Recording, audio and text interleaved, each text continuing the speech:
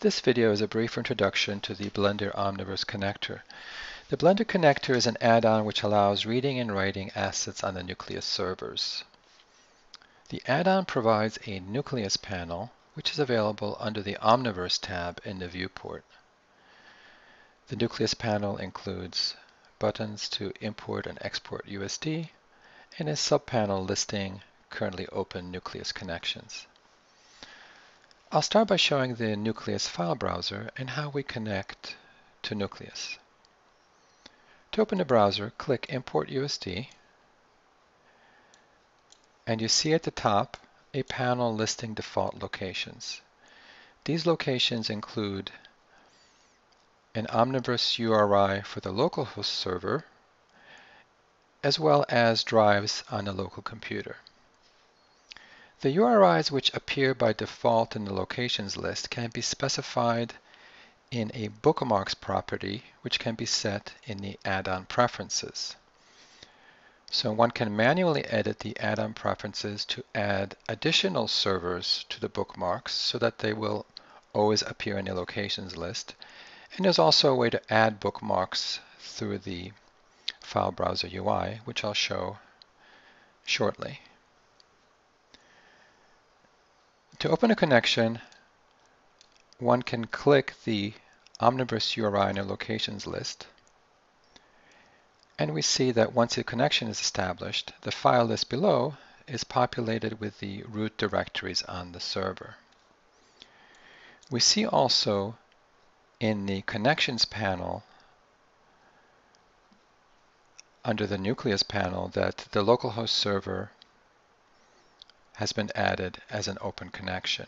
So the add-on monitors currently open connections and adds and removes them as necessary from this list. Another way to add a connection is directly through the connections panel. There is an add there's an open connection operator and I can open a connection to, for example, the OV content server. So I enter the server name.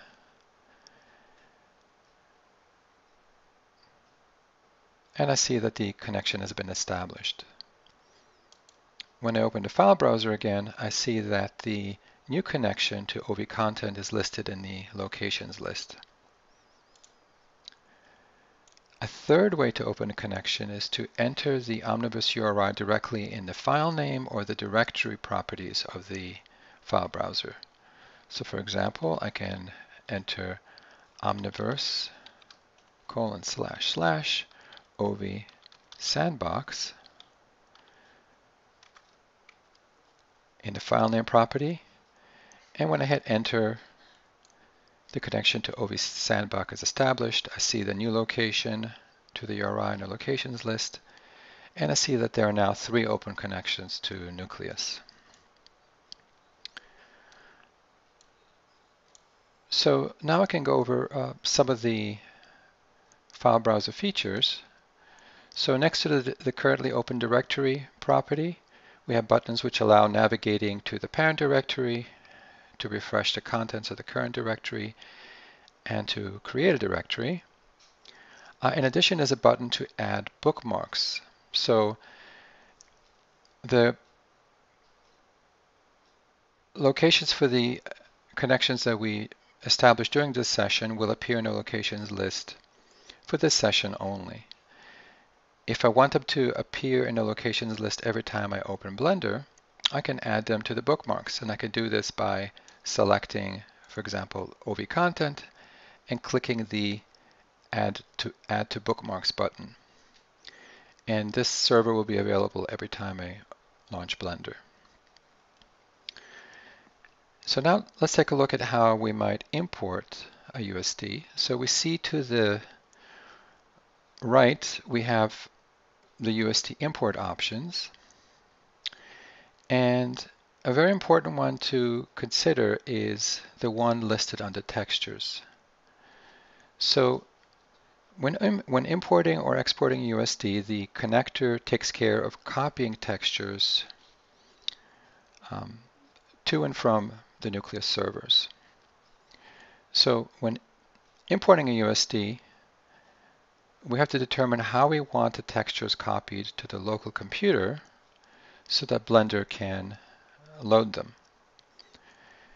The default option is to bring them in as packed textures, which means that the texture is first downloaded to a temporary directory and then is packed into the current Blender file. This can be very convenient for relatively small scenes, but can be prohibitively slow and consume too much memory for large scenes or when we have many textures. Another option, which is usually preferred, is to copy the textures.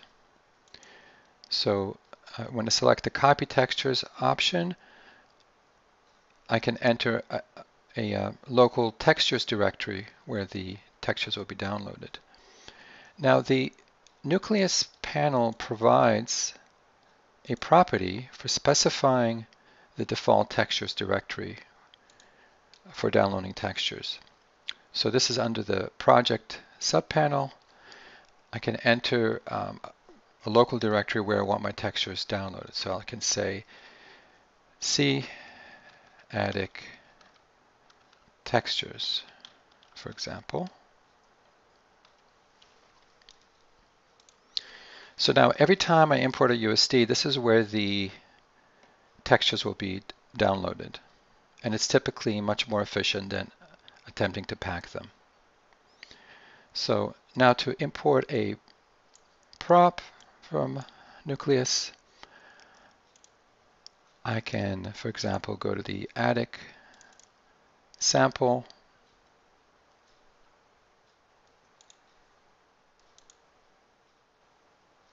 under props. Let's say I want to, ball, to load the ball USD.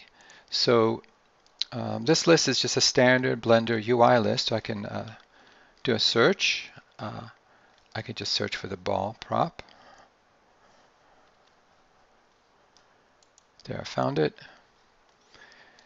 I select the asset and I click OK. Now, the file browser is implemented as a standard Blender operator properties dialog. So the standard workflow is to set the properties and to then click OK or hit Enter to execute the operator. To cancel, I would hit the Escape key or click outside the dialog. So in, in this case, I want to proceed, so I click OK. And next I'm prompted to confirm options for copying textures. Um, so we see that indeed um, the mode is set to copy and it's going to copy to the attic textures directory which are previously specified. And I click OK to proceed. And here I've, I've imported the ball prop and I could confirm that the uh, textures have been loaded. So one thing to keep in mind is that copying textures is usually the slowest part of the import or export. So the initial import or export uh, may, may be slow, as uh, especially if um, there are many textures. Uh, however, once the textures have been cached locally or on a server, subsequent imports and exports of the same USD should be considerably faster. So now let's say I want to um, provide um, perform some edits on this. So let's say I want to um, deflate this ball a little bit so I can uh, use a sculpt tool to slightly modify the model. And now let's say that I want to export this back to uh, the Nucleus server. So go back to the Nucleus panel, I open Export USD. Um, and now I want to export this to a new directory. So I go to localhost under users test, and here I can create a new directory for the attic props that I've that, that I'll be editing. So I can use the Create Directory button to create a new directory and the new directory is automatically opened. Uh, now I can go ahead and save this USD.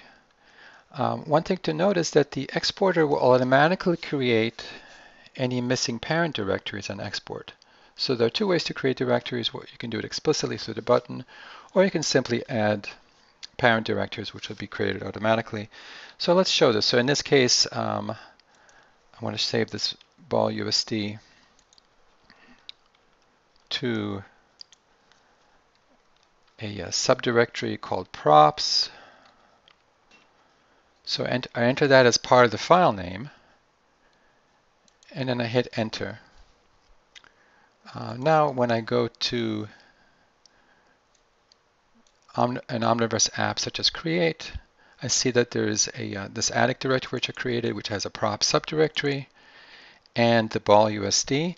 Notice that these, there is a textures directory next to it where all the, direct, all the uh, textures have been copied over to the server. And now we can um, open this USD to confirm that it's been loaded.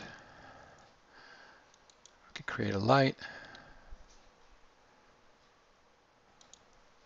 So there, here's the um, prop that uh, we exported from Blender.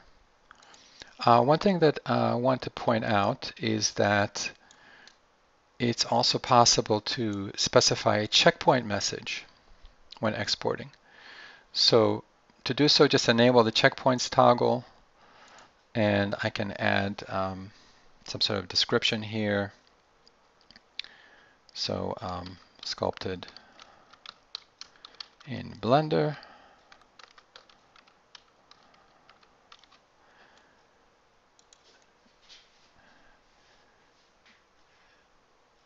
And it uh, will query me as to whether I want to overwrite the current USD.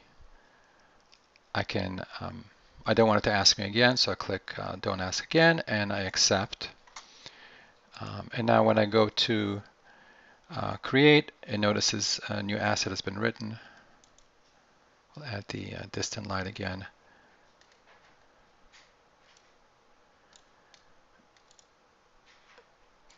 And now we notice that the